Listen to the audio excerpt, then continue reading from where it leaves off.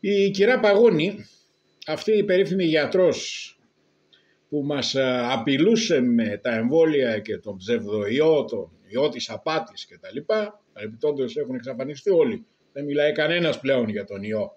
Κάτι ψελίζουν εκεί, προσπαθώντας να μπαλώσουν πράγματα, αλλά πλέον η παγκόσμια κοινότητα έχει πάρει είδηση επιτέλους ότι ήταν μια καλωστημένη απάτη. Παναλαμβάνω όχι ότι δεν υπάρχει κορονοϊός, κορονοϊοί υπάρχουν εδώ και χιλιάδες εκατομμύρια ίσως χρόνια. Έτσι. Ε, το κατασκεύασμα αυτό στη Ιουχάν των χαζαροσιονιστών στη Ιουχάν με λεφτά των χαζαροσιονιστών από τον Καναδά και την ε, Αμερική. Γι' αυτό μιλάμε. Για να πουλήσει ο Μπουρλά, για να πουλήσει ο Bill Gates, για να πουλήσουν πάλι η ίδια η οικογένεια αυτή. Αυτή λοιπόν για να ξανάρθω στην Κεραπαγόνη μας είπε ότι το φακελάκι για το φακελάκι είναι συνυπεύθυνος και αυτός που δίνει το φακελάκι. Να σας πω μια προσωπική ιστορία. Πρόσφατα έκανα επέμβαση στο μάτι μου για καταράχτη. Το παιχνίδι που παίχτηκε εκεί στο φαλμιατρίο στο κέντρο της Αθήνας, στην Πανεπιστημίου, ήταν ε, ό,τι πιο άσχημο μπορείτε να φανταστείτε. Ε, για πρωινό ραντεβού δεν υπήρχε με τίποτε, έπρεπε να περιμένω 7-8 μήνες για πρωινό ραντεβού να με εξετάσουν. Για απογευματινό μόλις είπα βεβαίως αύριο, ελάτε αύριο, 60 ευρώ, 65 ευρώ. Λοιπόν, αυτό το κατάντημα που έφτιαξε ο, το, το άλλο το βλαμένο, αυτό που παριστάνει τον πατριώτη, τον εθνικιστή, κάποτε φυσικά, ε, τον Μπουμπούκο, απαξιώ να πω και το όνομά του. Για να κάνω λοιπόν την επέμβαση πέρασα από χίλια μύρια κύματα.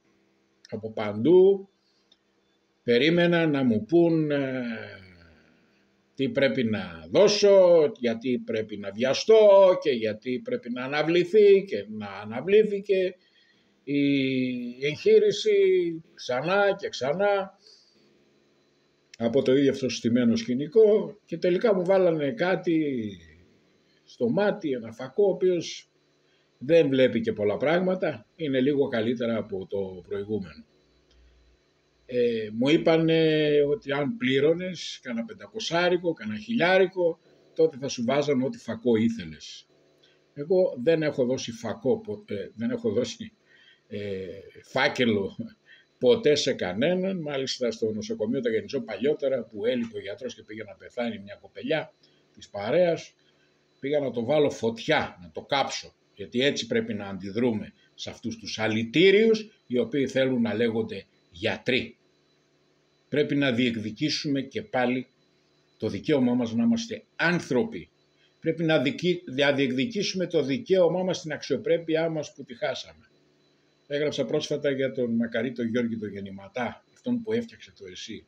Ήμουνα κάποτε κοντά του, σε αυτόν τον άνθρωπο, το θαυμάσιο άνθρωπο που έφτιαξε αυτό το υπέροχο πράγμα που ο Έλληνας επιτέλους μπορούσε να πηγαίνει στο νοσοκομείο χωρίς να χρειάζεται να πουλάει κόπεδα και χωράφια και σπίτια.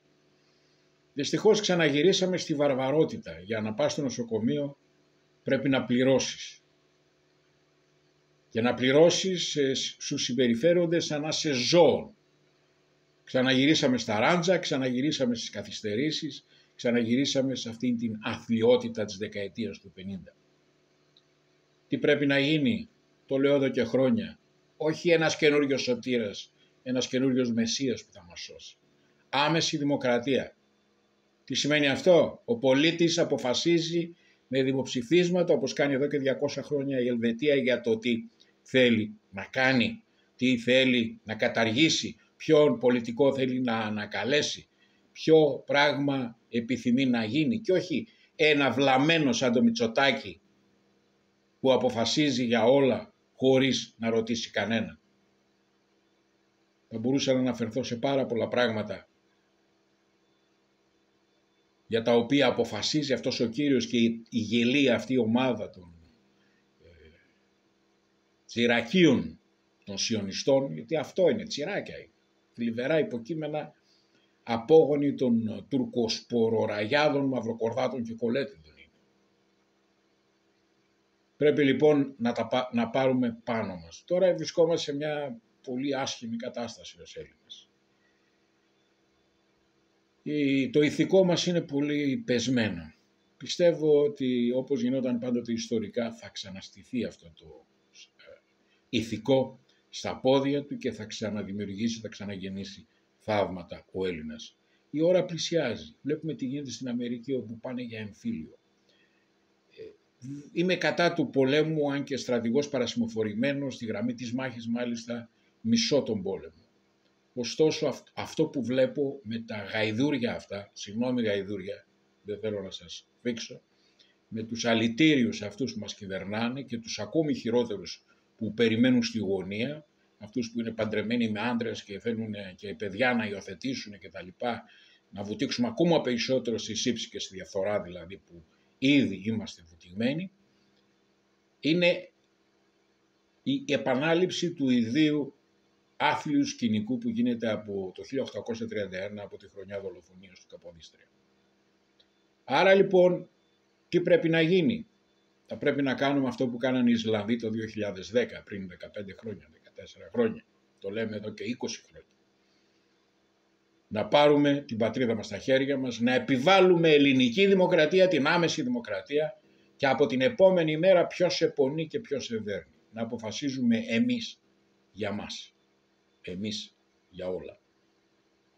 Και για τα Σκόπια που δώσανε το όνομα και για τον κορονοϊό και για το ε, που στέλνουν όπλα στην Ουκρανία χωρίς να ρωτήσουν κανέναν και τώρα που ο Δένδιας άλλος ιονιστής που θέλει να γίνουμε αρχηγοί λέει κατά τον Χούθη κατά της Ιεμένης θα συνεχίσουμε τις φαγές εκεί στη Γάζα και τα λοιπά χωρίς να ρωτήσουν κανένα έτσι να πάμε σε ένα τέτοιο μοντέλο, ελληνικό μοντέλο και όχι αυτό το τουρκομπαρόκ μοντέλο το οποίο έχουμε σήμερα, της ψευτοδημοκρατίας και να πάρουμε την πατρίδα μας πίσω στα χέρια μας και να αποφασίσουμε εμείς ο ελληνικός λαός για εμάς. Όχι κάποιος αριστερός, κάποιος δεξιός, κάποιος σοσιαλιστής, κάποιος κομμουνιστής, κάποιος έθνικος σοσιαλιστής κτλ. Εμείς για μας.